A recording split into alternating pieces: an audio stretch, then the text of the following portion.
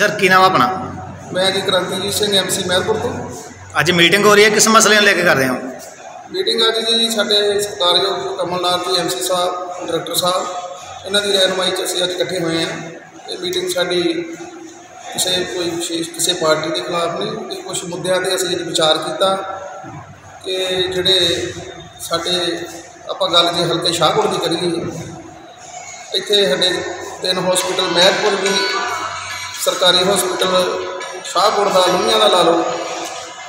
ਜਿੱਦਾਂ ਆਪਣਾ ਦੌਰ ਤੁਹਾਨੂੰ ਪਤਾ ਕਿੰਨਾ ਮਹਿੰਗਾਈ ਦਾ ਦੌਰ ਚੱਲ ਰਿਹਾ 80 85 90% ਜਿਹੜੇ ਗਰੀਬ ਲੋਕ ਆ 10% ਜਿਹੜੇ ਅਮੀਰ ਲੋਕ ਆ, ਉਹਨਾਂ ਦਾ ਸਰਦਾ ਉਹਨਾਂ ਕੋਲ ਪੈਸੇ ਹੈਗੇ, ਉਹਨਾਂ ਦੀ ਐਡਜਸਟਮੈਂਟ ਹੈਗੀ। ਕਿੰਨੀਆਂ ਸਰਕਾਰਾਂ ਆ ਗਈਆਂ, ਕਿੰਨੀਆਂ ਸਰਕਾਰਾਂ ਬਦਲ ਗਈਆਂ। ਸਮਝ ਨਹੀਂ ਆ ਰਹੀ ਕਿ ਹਾਲੇ ਤੱਕ ਜਿਹੜੇ ਗਰੀਬ ਲੋਕ, ਜਿਹੜੇ 80% ਲੋਕ ਆ, ਇਹ ਸਰਕਾਰਾਂ ਕਿਉਂ ਨਹੀਂ ਸਾਡਾ ਖਹਿੜਾ? ਸਰਕਾਰੀ ਜਿਹੜੇ ਹੈਗੇ ਪ੍ਰਾਈਵੇਟ ਹਸਪੀਟਲ ਆ ਤੇ ਪ੍ਰਾਈਵੇਟ ਸਕੂਲਾਂ ਤੋਂ ਸਾਡਾ ਖਹਿੜਾ ਅਜੇ ਤੱਕ ਕਿਉਂ ਨਹੀਂ ਛਡਾ ਸਕੀ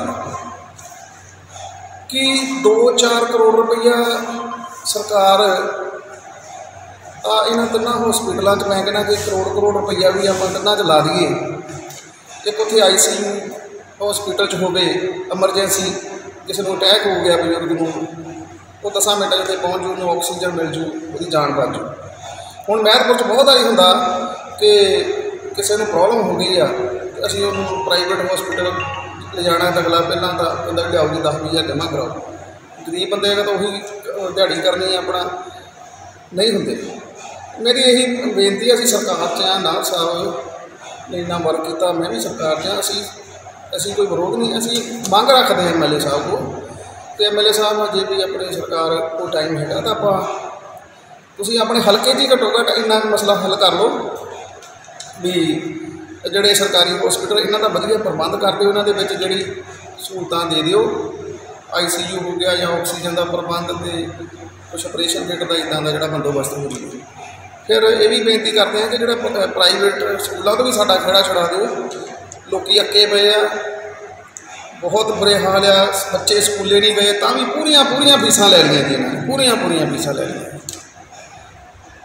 ਜੇ ਆਪਾਂ ਸਮਾਰਟ ਸਕੂਲ ਬਣਾਤੇ ਆ, ਵਧੀਆ ਸੋਹਣੇ ਸਕੂਲ ਬਣਾਤੇ ਆ, ਕੀ ਇਹਨਾਂ 'ਚ ਜਿਹੜੇ 80 ਹਜ਼ਾਰ ਰੁਪਈਆ ਤਨਖਾਹ ਲੈਣ ਵਾਲੇ ਜਿਹੜੇ ਟੀਚਰ ਆ, ਕੀ ਉਹ ਉੱਥੇ ਇੰਗਲਿਸ਼ ਨਹੀਂ ਪੜ੍ਹਾ ਸਕਦੇ? ਸਰਕਾਰੀ ਸਕੂਲਾਂ ਨੂੰ ਇੰਗਲਿਸ਼ ਮੀਡੀਅਮ ਕਿਉਂ ਨਹੀਂ ਕਰਦੇ ਆਪਾਂ? ਕਿਉਂ ਨਹੀਂ ਕਰ ਸਕਦੇ? ਇਹ ਮਸਲੇ ਹੱਲ ਕਰ ਦਿਓਗੇ ਤੇ ਆਪਾਂ ਨੂੰ ਇਲੈਕਸ਼ਨਾਂ ਦੇ ਵਿੱਚ 8-8 10-10 ਕਰੋੜ ਰੁਪਈਆ ਲਾਉਣ ਦੀ ਜ਼ਰੂਰਤ ਨਹੀਂ ਪੈਣੀ। ਕੋਈ ਪਿੰਡ ਦਾ ਕੋਈ ਲੋਕ, ਸਾਡੇ ਗਰੀਬ ਸਾਡੇ ਗਰੀਬ ਲੋਕਾਂ ਦੇ ਐਲੀਗੇਸ਼ਨ ਲੱਗਦੇ ਆ ਕਿ ਪੈਸੇ ਲੈ ਲੈਂਦੇ ਜੀ ਸ਼ਰਾਬਾਂ। ਕੌਣ ਕਿਹਦੇ ਕੋਲ ਮੰਗਣ ਜਾਂਦਾ ਜੀ? ਆਪਾਂ ਇਹ ਰਿਵਾਜ ਬੰਦ ਕਰ ਦਈਏ। ਸੋ ਮੇਰੀ ਬੇਨਤੀ ਹੈ ਕਿ ਇਦਾਂ ਦੇ ਮੁੱਦੇ ਆ, ਅਸੀਂ ਪਿੰਡਾਂ ਦੇ ਵਿੱਚ ਹੁਣ ਮੁਹਿੰਮ ਚਲਾਉਣੀ ਹੈ ਸਾਰਾ ਕਰਨਾ ਮੀਟਿੰਗਾਂ ਕਰਨੀਆਂ। ਸੋ ਇਹ ਮਸਲੇ ਸਾਡੇ ਹੱਲ ਹੋਣੇ ਚਾਹੀਦੇ ਆ।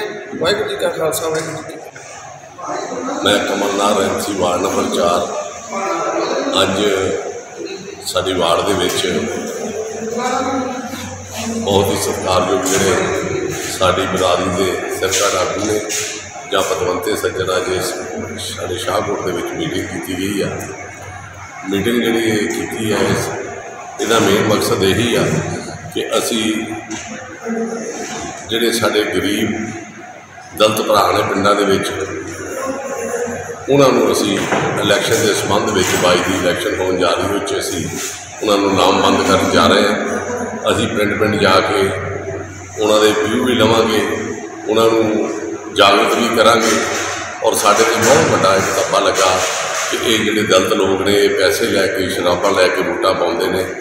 ਇਸ ਜਿਹੜਾ ਕਲੰਕ ਨੂੰ ਅਸੀਂ ਧੋਣ ਲਈ ਇੱਕ ਸਾਡੀ ਸਮੁੱਚੀ ਬਰਾਦਰੀ ਦੇ, ਸਮੁੱਚੇ ਸਾਡੇ ਜਿਹੜੇ ਵਰਕਰ ਸਾਹਿਬਾਨ ਨੇ ਇਲਾਕੇ ਦੇ, ਜਾਂ ਵਧੀਆ ਵਧੀਆ ਜਿਹੜੇ ਸਾਡੇ ਪਰਸਨ ਨੇ, ਅਸੀਂ ਇੱਕ ਇੱਕ ਟੀਮ ਬਣ ਕੇ ਪਿੰਡਾਂ ਦੇ ਵਿੱਚ ਜਾ ਕੇ ਇਸ ਗੱਲ ਨੂੰ ਜਾਗਰਤ ਕਰਨਾ, ਕਿ ਆਉਣ ਵਾਲੇ ਸਮੇਂ ਦੇ ਵਿੱਚ ਜਿਹੜਾ ਇਲੈਕਸ਼ਨ ਹੋਣ ਜਾ ਰਿਹਾ 2022 ਦਾ ਉਹਦੇ ਵਿੱਚ ਅਸੀਂ ਸਾਰਾ ਸਮਾਜ ਜਿਹੜਾ ਹੈਗਾ ਵਾ ਦਲਤ ਭਾਈਚਾਰਾ, ਖਾਸ ਕਰਕੇ ਮੈਂ ਸਮਝਦਾ ਕਿ ਵਾਲਮੀ ਕਮਿਊਨਿਟੀ ਜਿਹੜੀ ਹੈ, ਉਹਨੂੰ ਅਸੀਂ ਇੱਕ ਪਲੇਟਫਾਰਮ ਤੇ ਇਕੱਠਾ ਕਰਕੇ ਔਰ ਆਉਣ ਵਾਲੇ ਇਲੈਕਸ਼ਨਾਂ ਦੇ ਵਿੱਚ ਅਸੀਂ ਉਹਨਾਂ ਜਾਗਰੂਕ ਕਰਕੇ ਜਿਹੜੇ ਉਹਨਾਂ ਦੇ ਮੇਨ ਹੱਕ ਨੇ, ਜਿਹੜੇ ਹਾਲੇ ਤੱਕ ਉਹ ਵਾਂਝੇ ਰਹਿ ਗਏ ਨੇ, ਉਹਨਾਂ ਨੂੰ ਹੱਕਾਂ ਦਿਵਾਉਣ ਲਈ ਅਸੀਂ ਮੇਨ ਉਪਰਾਲੇ ਕਰਾਂਗੇ।